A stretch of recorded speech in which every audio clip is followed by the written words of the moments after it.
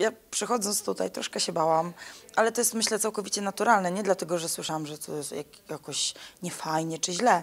Po prostu w momencie, kiedy wchodzi się mm, w projekt, w współpracę z ekipą, która zna się już od lat i, i beczkę soli ze sobą zjadła, mm, no to jest tak troszeczkę jak z uczniem, który przychodzi do nowej klasy.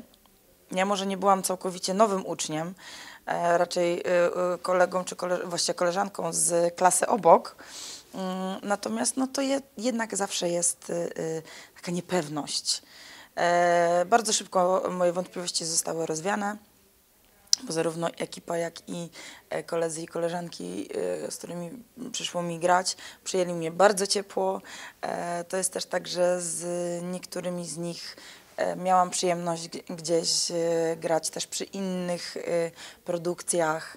Mm, Tak samo jeżeli chodzi o, o ekipę e, naszą, więc e, e, nie czułam się aż tak wyobcowana, ra, raczej przeciwnie, bardzo szybko poczułam się jak w domu. Ja mam wrażenie, że pomimo, że to minęło już 10 lat, e, to wbrew pozorom to niewiele się zmieniło. Mówię tu na plus. E, oczywiście wątki naszych bohaterów e, e, uległy zmianie, porodziły się dzieci.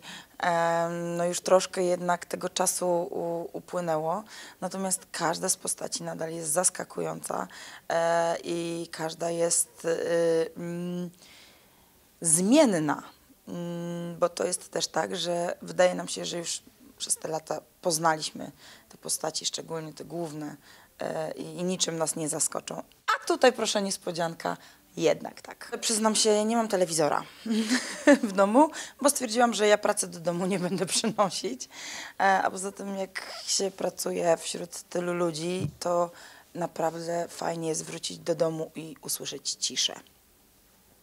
Więc e, nie oglądałam wszystkich odcinków, przyznaję się bez bicia. Natomiast e, jak już gdzieś tam e, byłam, czy w internecie zdarzyło mi się e, obejrzeć, no szczególnie jak się dowiedziałam, że wracam, no to mówię, muszę wiedzieć, do czego wracam, kto z kim, jak i dlaczego.